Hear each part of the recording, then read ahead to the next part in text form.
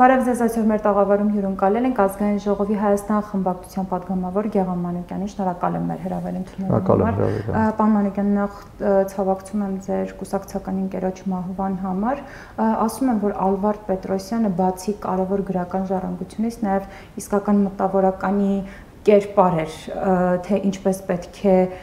տարբեր թեմաների մասին չլռել, խոսել եւ ճիշտ խոսել։ Դուք ինչ կառած կառածնացնեք իր կերպարը։ Կթավակցեմ մեր բոլոր հայրենակիցներին, որովհետև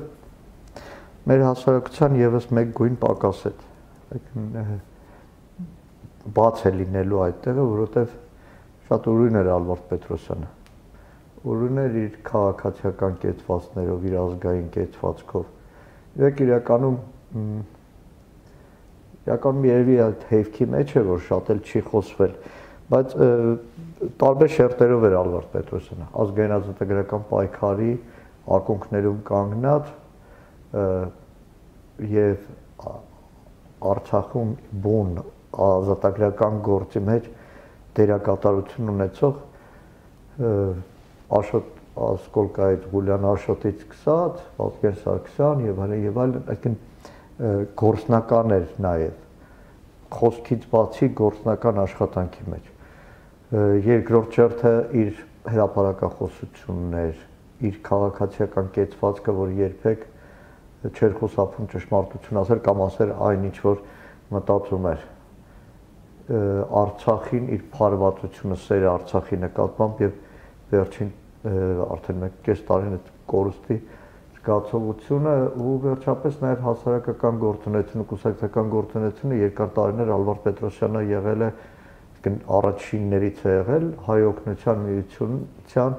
Հայաստանի շրջանային վարչության, հետո կենտրոնական վարչության անդամ, իսկ հայ օգնության միությունը համահայկական կանանց ամենահին եւ ամենակազմակերպած ու տարօրինակ կազմակերպությունն էր եւ այն ահռելի օգնությունը, աջակցությունը Արցախին, ազատամարտիկներին, զոհվածներին տարիներ շարունակ անխոս գործունեություն է ծավալել օրինակ որփախնամ ծրագիր ուներ հոմը Հայաստանի բոլոր ծնողազուրկ երեխաները ամեն ամսվա ամսյա դրությամբ ստանում էին աջակցություն մինչև չափահաս դառնալ բայց շատ էլ դրա մասին չի խոսվել եւ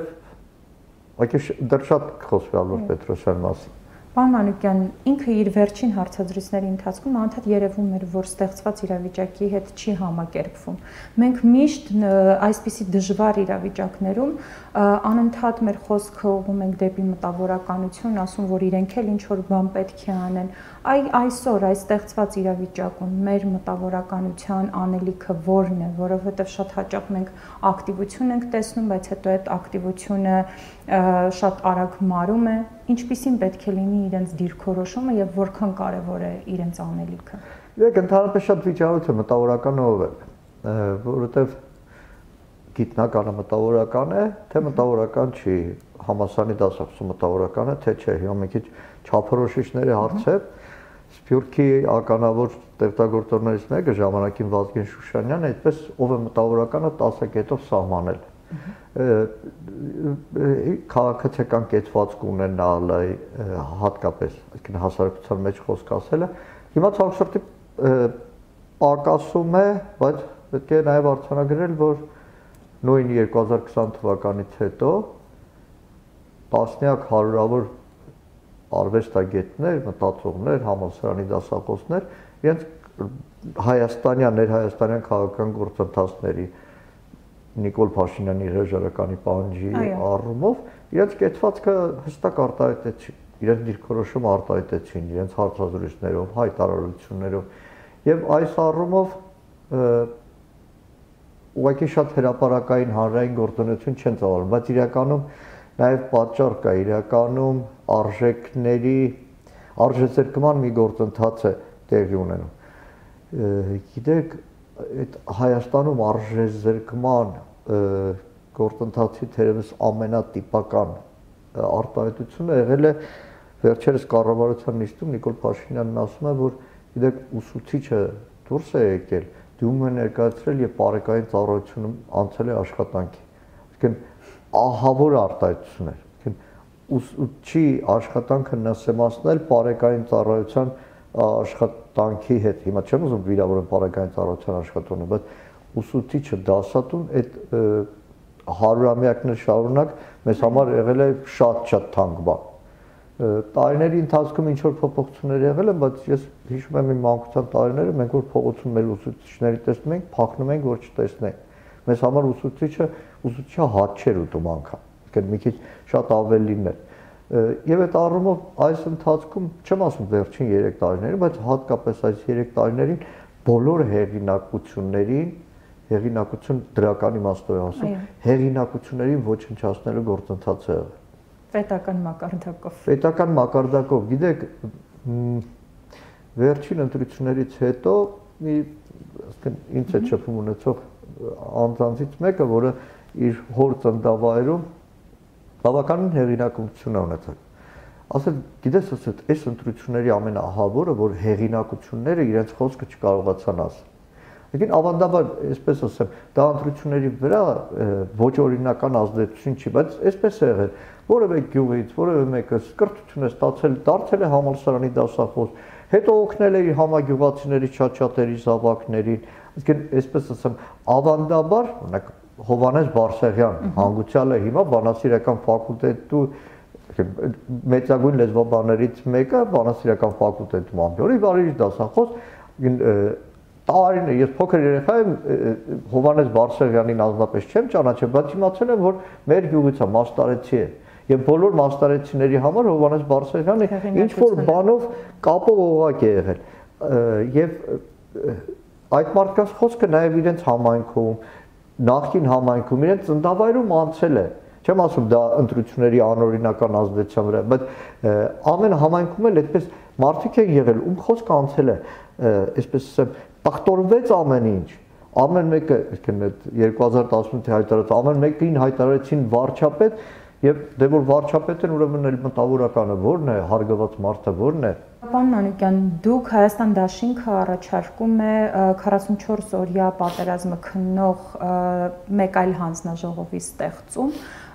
Ինչ պետք է անի այս հանձնաժողովը, որը չի կարողանալու անել այն հանձնաժողովը, որը արդեն ստեղծվել է ԿՊ-ի առաջարկությամբ։ Մեր խմբակցությունը արդեն շրջանառության մեջ է դրել օրենքների մի հսկայական փաթեթ, նաև օրենքի նախագիծ 44 օրյա պատերազմի հանգամանքներն ուսումնասիրող հանձնաժողով ձևավորելու։ Խնդիրները նախ որ դրված են, շատ ավելի լայն են, քան այս խորհրդարանում ձևավորված միայն իշխանության կողմից ձևավորված քննիչ հանձնաժողովի, որովհետև իրականում ձևախեղվում է ընդհանրապես պատերազմի քննության շրջանակները, թե ինչ պետք է քննեն։ Ավելի կոնկրետ կասեք։ Ավելի կոնկրետ, այսինքն կարևորագույն հարցը, որը կա, ռազմաքաղաքական կառավարման, իշխանության, պետության մոբիլիզացիոն գործունեության, թիկունքի ապահովման, առաջնագծի թիկունքի կապի, կարգապահության, զինվորական կարգապահության, նյութատեխնիկական ապահովման, դիվանագիտական քայլերի ձեռնարկման կամ չձեռնարկման բոլոր այն հավանական դեպքերում, որ հնարավոր էր պատերազմը կանգնեցնել դրանց իրականացման կամ չիրականացման մասին, այսինքն խնդիրները շատ ավելի գլոբալ են, որովհետև շատ հաճախ իշխանությունը, որը ներկայացնում է, ինքը հստակ արդեն թիրախ ընտրել է եւ այդ թիրախը նաեւ ենթադրաբար քարոշչական առումով օգտագործում է այս վաշտի հրամանատարը սխալ է արել սխալի հետևանքով այսքան զինվոր զոհվել է օբյեկտիվ է ասածը, սուբյեկտիվ է ասածը, մինչև վերջել հայտնի չի, բայց թիրախը տանում են դեպի զինվորականներ, զինվորականների գործողություններ, որոնց քննությունը պետք է իրականացվի մասնագիտական առումով։ Ընդհանրապես աշխարհում է ընդունված զինվորականների գործողությունները քննում եւ գնահատական է գնահատական է տալիս զինվորական բուն քննիչ ատյաններ շատ երկրներում Միացյալ Նահանգներից սկսած օրինակ զինվորականների դեպքում կա զինվորական դատարան, որտեղ հիմա ինչ է կատարվում։ Տասնյակ հարյուրավոր քրեական գործեր են հարուցվել։ Այո, սպանել։ Եվ այդ քրեական գործերի հարուցումը քննում է քաղաքացիական որևէ քննիչ, քնչական կոմիտե կամ այլ գերատեսչություն, եւ քաղաքացիական քննիչի համար շատ դժվար է քննել, այսպես ասեմ, զինվորականների գործողությունները, որոնք կանոնակարգվում են հատուկ կանոնակարգերով, գլխավոր շտաբի պետի հրամաններով, պաշտպանության նախարարների նախարարի հրամաններով եւ դրանով է որ կանոնակարգվում է։ Հակառակ դեպքում այստեղ խառնում է եւ ի սկզբանե մենք ասում ենք, որ իրենք արդեն ընտրել են թիրախ, իրենք ընտրել են մեղավոր, զինված ուժերն են եւ ամբողջ իշխանության քննությունը դրան է գնալու։ Մեր կողմից մենք երկրորդ հարցը որքանով օբյեկտիվ կարող է լինել քննիչ մարմինը։ Եվ դրա համար մեր առաջարկը վեր խորհրդարանական, այսպես եմ նույնիսկ վեր կուսակցական մասնագիտացված անկախ մարմնի ձևավորումն է, որը կաշկանդված չլինի ոչ իշխանության, ոչ ազգային ժողով, ոչ կառավարությունով, անգամ ոչ նախագահով, ֆինանսական անկախություն ունենա։ Ձևաչափը իշխանություն, ընդդիմություն 4-4 տեխնացու են առաջադրում,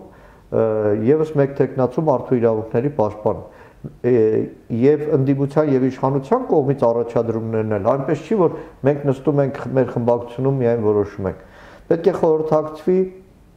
նաև որպեսի հանրային լայն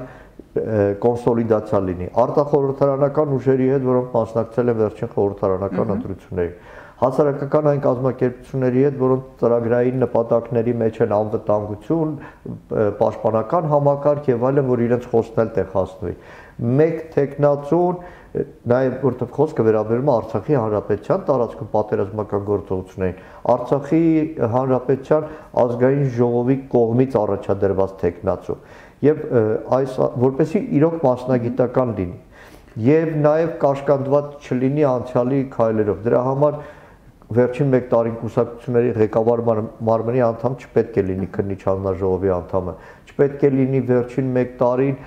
ուժային տարբեր կառույցներում աշխատած մեկը չպետք է որևէ առնչություն, մասնակցություն ունեցած լինի պատերազմական գործողությունների ռազմաքաղաքական կառավարմանը, որովհետև այսօրվա իշխանության քննիչ մարմնի նույն նախագահ Քոչարյան Անդրանիկը պատերազմի ընթացքում եղել է պաշտպանության հանձնաժողովի նախագահ եւ բնականաբար այս կամ այն կերպ մասնակցություն ունեցած եւ հիմա էլ կաշկանդված է այս ամենով եւ ի վերջո այսօրվա քննիչ մարմինը սպասարկում է իշխանության շահերը ինքը ամեն ինչ անելու է արդարացնի իշխանության գործողությունները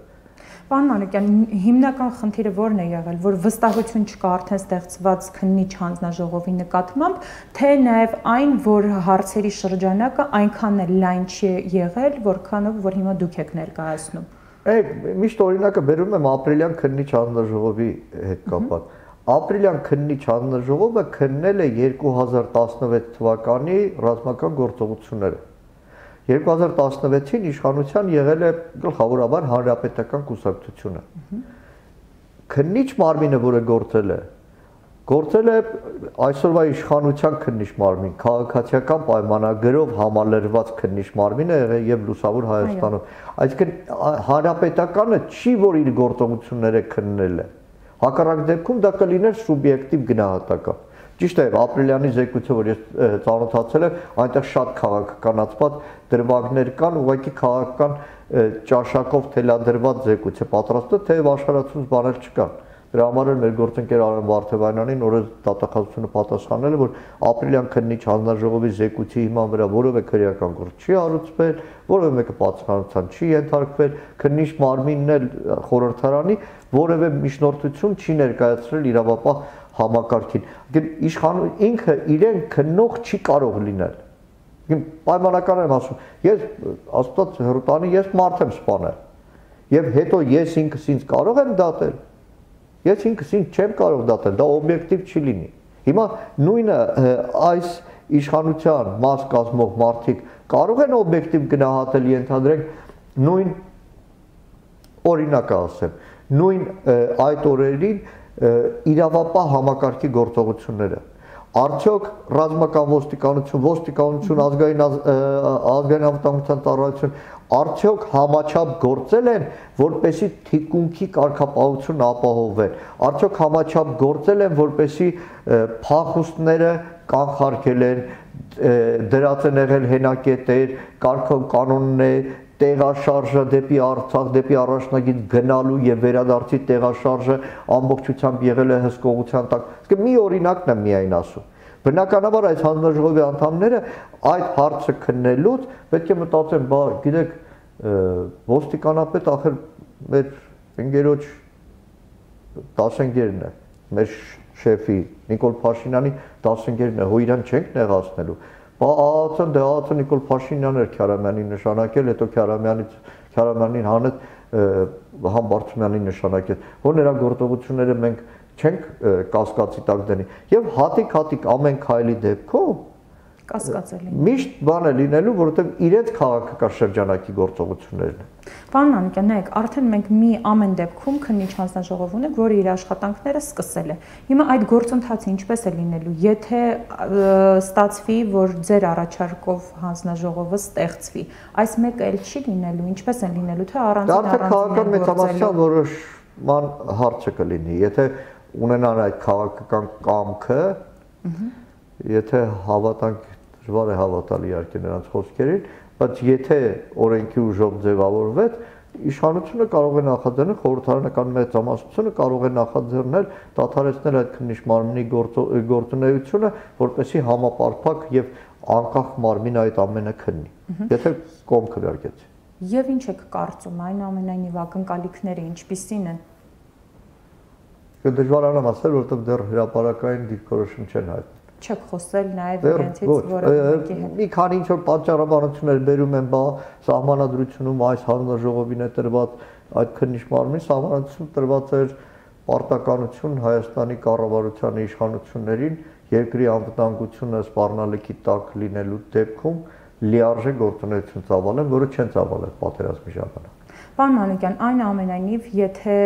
այսպես ենթադրենք, որ չեն ընդունելու, չի ստացվելու այս նոր հանձնաժողովի ստեղծումը, խորհրդարանական ընդդիմությունը ուրիշ ինչ ռեսուրսներ, ինչ քայլեր կարող է անել, որևէ կերպ չգիտեմ, հետաքննելու, բացահայտելու ինչ որ դրվագներ, որովհետև մեկ մասով դուք արել եք, դուք եւ Աննա Գրիգորյանը արել եք միայն այդ մեխանիզմները կարող եք դուք գործի դնել, թե այլ լծակներ ու հնարավորություններ ունեք Խորհրդարանական ընդդիմությունը պետք է օգտագործի բոլոր գործիքակազմերը, հիշատակեցիք Աննա Գրիգորյանի եւ այո, հարցապնդումների մեխանիզմը, դրանցից մեկն է որի արդյունքում ինչ որ բաներ կարող են բարձվել։ Շատ հաճախ հանրության մեջ այդպիսի տպավորություն է եւ նաեւ հրաապարական կոչեր են լինում, օրինակ այդ օրերի գլխավոր շտաբի պետ Օնի Գասպարյանին ասում են Օնի Գասպարյանը պետք է խոսի։ Այդտեղ կամ հետագույն մի քանի դժվարություն ցանկացած զինվորական կամ ցանկացած այդ օրերի պաշտոնյա ի վերջո կաշկանդված է օրենքով գաղտնի տեղեկություններ հրապարակելու սահմանափակումներ ունի հավաստիությունը փաստող ապացույցներ ներկայացնելու դժվարություն է ունենալու տեսեք մի դրվագ ասեմ շատ հաճախ մեր հայրենակիցները դժվար լավ ունի Գասպարյանը ասեց ենթադրենք ասեց սա սա սա ի վերջո ապացուցելու հարց է լինելու բայց ինքը այսօր չլինելով գլխավոր շտաբի պետ, չլինելով պաշտոնատար անձ, ինքը զրկված է իր ասածը փաստելու հնարավորությունից։ Օրինակ, Օնի Գասպարյանը մի անգամ խոսքի մեջ ասեց, որ անվտանգության խորհրդի նիստին ես ասացած զգուշացումներն արել եմ։ Իշխանությունը հրապարակեց ինչ որ անվտանգության խորհրդի նիստի արցանագրություններ, հատվածները, կեսը սևացրած եւ ասեց Օրե Գասպարյանը ճիշտ չի ասում։ Օրե Գասպարյանը զրկվեց իր ասած ապացուցելու հնարավորությունից, որովհետեւ որպես պաշտոնատար անձ եթե լիներ, կունենար այդ բոլոր փաստաթղթերի կրկնօրինակները։ Որպես ընդդիմադիր падգամովը ես արդեն դիմել եմ, որպեսի այդ օրերին, այդ ամիսներին ազգային անվտանգության խորհրդի նիստերի արցանագրություններին ամբողջական ծանոթանալու հնարավորություն ստանա։ Պատերազմի ամսեր նկատի ունի։ Մինչև պատերազմ եւ պատերազմի ընթացքում։ Չգիտեմ պատասխանը ինչ կլինի, բայց պարտավոր է պատասխանել։ Այդպես հարցում եմ ուղարկել օրինակ անվտանգության խորհուրդ, թե անցնող 1 տարվա սահմանային լարվածությունների ժամանակ ինչ բովանդակությամբ դիմումներ են եղել ՀԱՊ արդյոք դիմվել է ՀԱՊ ռազմական միջամտության համար, որովհետև մեկ բան է քարոշչությամբ հարցազրույցներում Արմեն Գրիգորյանն ասում է մենք արդեն դիմելու ենք բան, այլ հարց է որ փաստաթղթերով իրականում ինչ գործողություններ են իրականացնել, իրականացրել։ Լսումների մեխանիզմը կա հազար տեսակ մեխանիզմ է, բայց այսպես եմ հետաքննության ամբողջական այսօրվա օրենսդրության բնականաբար ընդդիմությունը չունի։ Եվ այդ հանձնաժողովը իրականում քննիչ հանձնաժողովը, եթե մեր առաջարկը չի անում, մի օր լինելու է, լինելու է, երբ այս իշխանությունը չլինի, որը նաև հանգեցնելու է օբյեկտիվ քննության։ Պարոն Մանուկյան, դուք օրինակ բերում եք Օնիկ Գասպարյանի սահմանափակումների մասին, որ ինքը իր ասած ապացույցելու հետ կապված սահմանափակում ունի եւ չի կարող արդյոք նույն խնդիրը չունեն նույն ընդդիմադիր падգամավորները դուք, որովհետև հայտարարեցիք, որ զորքերի հետ քաշման հետ կապված հրաման է եղել, բայց հնարավորություն չունեիք այդ փաստաթղթերը հրապարակելու։ Սա որքանով է խանգարում այդ գործընթացը։ Առնված է մի բան, այլևս հանրությանը հստակ է։ Սյունիքի առաջնագծի զորքերը յետ են քաշվել ոչ թե բանավոր հանձնարարությամբ, այլ Փաշինյանի գիտությամբ ստորագրված փաստաթղթով եւ այս իշխանությունը կոնկրետ այս մի դրվագում 1.5 տարի շարունակ խափել է, մոլորեցրել է հասարակության։ Եվ եթե այս դրվագում խափել ու մոլորեցրել է, չի բացառում որ բազմաթիվ այլ հարցերում նույն կերպ է վարվել։ Հիմա իրականում բոլորի համար է գաղտնիք չի թե ինչ համաձայնագիր է։ Բայց ուղղակի փաստը կարող եմ արձանագրել, որ այո փաստաթղթով է եղել Հիմա նույն քննիչ հանձնաժողովը նույն մեր առաջարկած քննիչ հանձնաժողովի կանոնակարգումների մեջ կա. Փաստը այն տեղեկությունները, որ գալու են քննիչ հանձնաժողով, ապացուցված չեն, մինչև ապացուցված չլինեն։ Եվ երկրորդ հանձնաժողովը այն բոլոր փաստերը, որ հայտնի են դառնում հանձնաժողովին, իրավունք չունեն հրապարակել առանձնաբար միայն կարող են միջանկյալ 6 ամիսը մեկ ազգային ժողով ներկայացվող միջանկյալ զեկույցով այդ ամենը ներկայացնել։ Պարոն Մանուկյան, քննիչ հանձնաժողովի հետ կապված եւս մեկ հարց էլ, եթե այս արդեն ստեղծված հանձնաժողովը իր աշխատանքները վերջացնի, արդեն զեկույցը ներկայացնի իր տարբերակով, հետո հնարավորություն կա նորից գործը վերաբացել, նորից քննել։ Միշտ հնարավորություն կա, բայց գիտեք, ես չեմ էլ ակնկալում, որ այս քննիչ հանձնաժողովը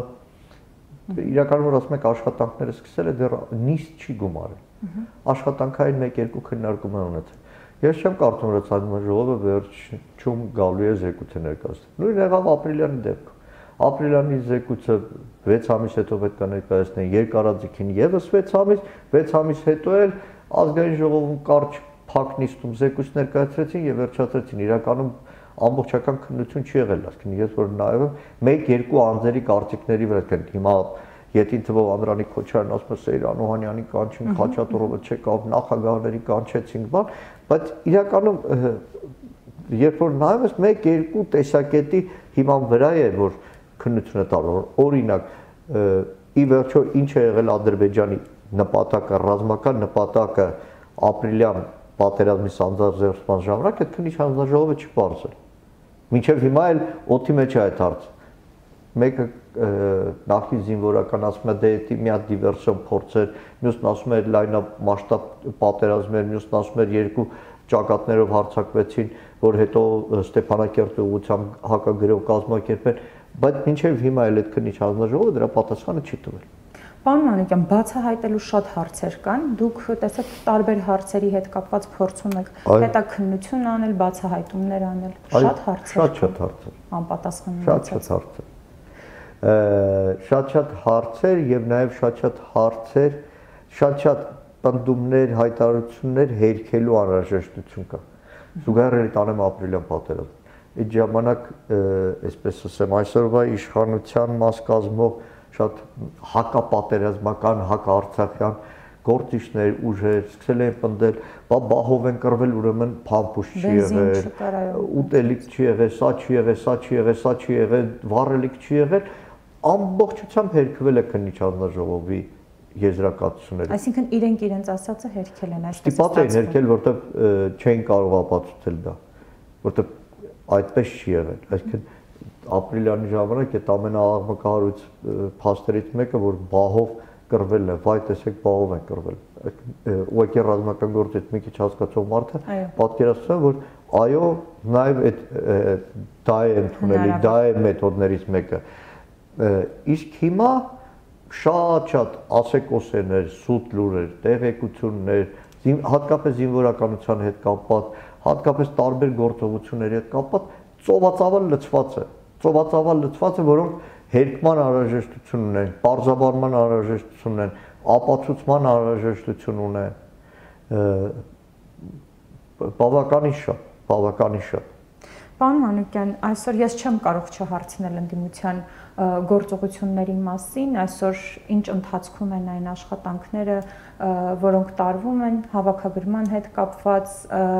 ինչ եք պատրաստվում առհասարականել, որովհետև նայեք նույն ազգային ժողով կառավարություն հարցոպատասխանի ժամանակ, երբ դուք հարցեր եք ուղում Նիկոլ Փաշինյանին կամ կառավարության անդամներից մեկին, իհարկե վերջում այդ հարցոպատասխանը չի ստացվում, ձեզ միշտ մեղադրում են, որ եթե ասում եք, որ իրենց հետ էլ խոսելու բան չկա, որ օրակարգում առաջնային հարցը Նիկոլ Փաշինյանի հրաժարականն է, ել ինչու եք իր հետ խոսում եւ ակտիվ գործընթացների են սպասում։ Այսպես ասեմ, ես որպես քաղաքական անձ ամեն օր ընտանիքիս, հարազատներիս, կուսակցական ընկերներիս հետ այդ պայքարի գծում ենք։ Որևէ վարքյան ես նահանջ չեմ ունենա։ Հակառակ դեպքում Դաշնակցության ականավոր գործիչներից մեկը ազատագրական պայքարի երևելի գործիչ առաջին հարաբեցան ռազմական նախարար Ռուբեն Տերմինեսյանն ասում էր մարդն առանց պայքարի մեռած բայց ես պետք է քայլ կատարեմ այն ժամանակ, երբ որ վստահ լինեմ, որ ես չեմ միայն, մենք չենք միայն եւ կա հանրային լայն շատ լայն աջակցություն, որը կարող է բեկում մտցնել եւ կարող է իրավիճակը փոխել։ Դա վերջին հնարավորությունն է լինելու այս ստեղծված իրավիճակում բանալու։ Գիտեք, երբեք չպետք է վհատվել, բայց Ես նաև որպես պատասխանատու գիտակից մարդ չեմ ցանկանում որևէ պա իմ հայրենակիցի հիասթափվի։ Պետք է անկեղծ ասեմ, 1 տարի շարունակ մենք հրապարակներում կանգնած ենք։ 1 տարի շարունակ մենք տուն չեն գնացել։ Շատ հաճախ մեզ այպանել են, բա հերթական փողոցային երթ արեցիք, բա դրանից հետո դա պայքարի իմիտացիա չէ, փորձ է պայքարի։ Իրականում իրականում գիտեք շատ հաճախ որ ասում եմ որ ինձ քննադատում եք, ասում հիմա պայմանական եմ ասում ինձ, ցանկացած դաշնակցականի դեպքում կարող եմ ասել։ Քննադատելուց առաջ պետք է հիշել, որ ես ոչ թե կոչ եմ արել մարդկանց գնալ, այլ ես գնացել եմ, ասել եմ եկեք իմ հետևից։ Եկին ամբողջությամբ ենք մենք տրվել այդ ամենին։ Իմ հարյուրավոր, հազարավոր կուսակցական ընկերներ տասնյակներով մենք ընկերներ ունենք, որ աշխատանքից են զրկվել։ Տասնյակներով ընկերներ ունենք, որոնց վրա քրեական գործերը մինչև հիմա հարուցված մնում է։ Այսօր դատավարություններն իմ ворթուց սկսած իմ ընկերներով ինձից է վերջացած։ Մեր падգամոնների մեր մի կարևոր մասը մինչև հիմա քրեական գործերով է ասում։ Մինչև հիմա երկիրը լքելու թույլտվությունից հնարավորությունից զրկված է, անznագրից զրկված է։ Եկեն, այսպես ասեմ, եւ այդ առումով ամեն օրվա աշխատանքը իր արդյունքը տալիս է ամեն օրվա աշխատանքը իր արդյունքը տալիս է 2021 թվականի հունիսի 21-ի քաղաքացին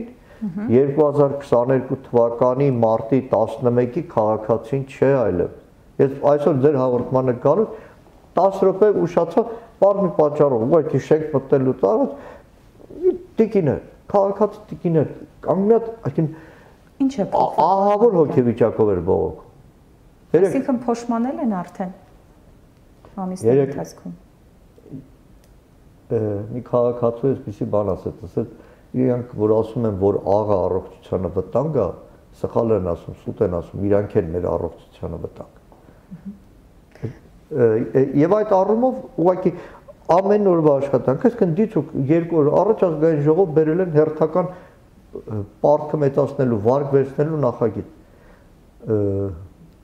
3 տարի առաջ մեր քաղաքացին, որ ելավ հանրապետության հրապարակ Փաշինյան պաշտպանել, պաշտպանեց նրան, որ առավոտյան գիշերացում էր, այ մեր սերունդների հաշվին էս իշխանությունները սրիկա պարտքերն են ավելացնում, պարտքերն են ավելացնում։ Թալանվածը հետ կբերեն իմ։ Դեռ պարտքի մասին ասեմ։ Այսօր ազգային ժողովի մեր խմբակցության падգամավորների ելույթներով փաստարկված խոսքերով արդեն դառնում որ ոչ թե պարտքը պակասեցրեց, այլ 3 միլիարդից ավել էր պարտքը մոտ 4 միլիարդ պարտքը ավելացրեց։ Այն ժամանակ որ 2018-ի քաղաքացին գալիս էր, որովհետև նույն Փաշինյանը հարաբեցան հրապարակում ասում էր, այս իշխանությունները ոչի բան չեն անում, թալանում են, թալանում են, մենակ պարտքերն են ավելացնում, նույն երկու օր առաջ ազգային ժողովի քննարկմանը բարձ օրինակի վրա են ներկայացրել, որ գիտեք 2016-ին իշխանությունները կառավարությունը 88 միլիոն դոլարի վարկ է վերցրել, որը այսօրվա իշխանությունները մեղադրում են թե դուք մենակ պարտն եք ավելացնում, որովհետեւ 46-ը դպրոց Հայաստանում նոր նոր կառուցվեր սեյսմակայուն դպրոց։ Եվ կառուցման ժամկետը վերջնաժամկետը 2020 թվականն էր։ Այսինքն այն պարտքը, որը վերցրել է նախորդ իշխանությունը, այդ գումարը կար այսօրվա կառավարության գրպանում, որը եկավ 2018-ին իշխանության եւ 3 տարվա մեջ պետք է 46 դպրոց կառուցել։ 7 դպրոց է կառուցված մինչև հիմա։ Այսինքն այս իշխանությունը նույնիսկ եղած գումարով անկարող է քայլան։ Պարոն Մանուկյան, Եվին վերջին հարցը. Ստեղծված իրավիճակում մեր ունեցած պայմաններում եթե փոխվի իշխանությունը, որովհետև շատերը դրա հույսը ունեն, որ գոնե այս գարնանը ինչ որ բան կլինի, ինչ որ բան հնարավոր է փրկել, այն ինչ որ մնացել է, որովհետև մինչև հիմա մենք դեռ խոսում ենք կորուստների մասին, թե տնտեսական, թե տարածքային։ Պետք է անկեղծ լինեմ, հեքիաթներ չպետք է պատմել եւ մարդկանցին հույսեր չպետք է տալ։ Շատ հաճախ եմ մտածում այդ հարցի մասին։ Ինչ կարող էին կարող ենք անել, եթե իշխանության լինենք։ Մեկ էլ անդրադառնում եմ, որ ինչ չպետք է անեինքի դեպքում բավականին ավելի բարվոք վիճակ կլինենք։ Ինչ չպետք է անեինքի դեպքում բարվոք վիճակի մեջ կլինենք։ Եվ ինչ չպետք է։ Չպետք է այսպես ասեմ, հեղինակազրկենք երկիրը եւ վերականգնենք այսպես ասեմ, մեր պետության վարկը արտաքին ճակատում, երբ որ մեր խոսքը լսելի լինի, որ թեև մենք փոքր երկիր ենք եղել, բայց մեր խոսքը շատ-շատ հարթակներում լսելի եւ ազդեցիկ է եղել։ Չպետք է փլուզենք բանակը, որը այսօր փլուզվում է ուղղակի տոտալ հետևողական փլուզվում է։ Երբ որ երկիրը գտնվում է վտանգի մեջ, պատերազմը չի ավարտված, երբ որ քո հարևանները ուղղակի անհավատալի ծավալներով պատերազմի մեջ են, դու ուղղակի հանում ես քո երկրի գլխավոր շտաբի պետին, անկախ այն բանից հավանում ես, չես հավանում, հանում ես գլխավոր շտաբի պետին ու շապատներով գլխավոր շտաբի պետ չես նշանակում։ Երբ որ պաշտպանության նախարարի տեղակալների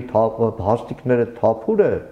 երբ որ սպայական անհավատալի արտահոս կա բանակի, անհավատալի դու դրա տեղը չես լրացնում, երբ որ տարիներ շարունակ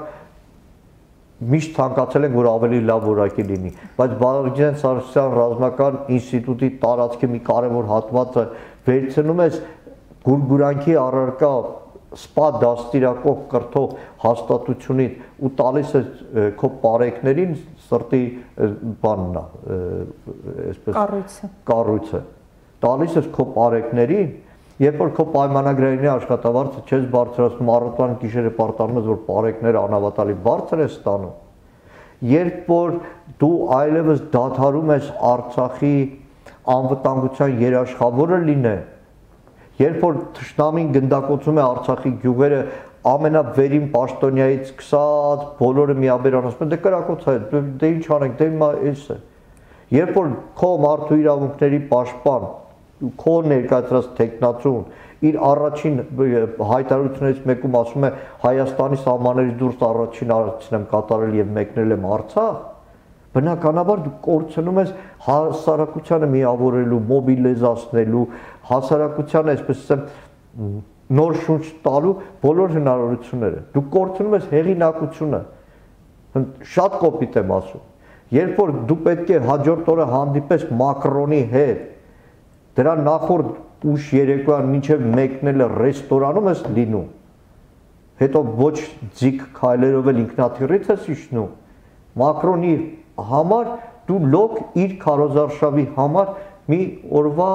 փոքր դետալ ես ֆրանսահայության քվեն ստանալու համար եւ ոչ թե Հայաստանի Հանրապետության արժանապատիվ ներկայացուցիչը, որի հետ Մակրոնը կարող է նստել ու հավասար հավասարի խոսել։ Շնորհակալ Իսկ եմ։ մենք ունեցել ենք դա։ Դա պետք է վերականգնենք։ Այո, Շնորհակալ եմ զրույցի համար։ շնորհակալ եմ հրավերի համար։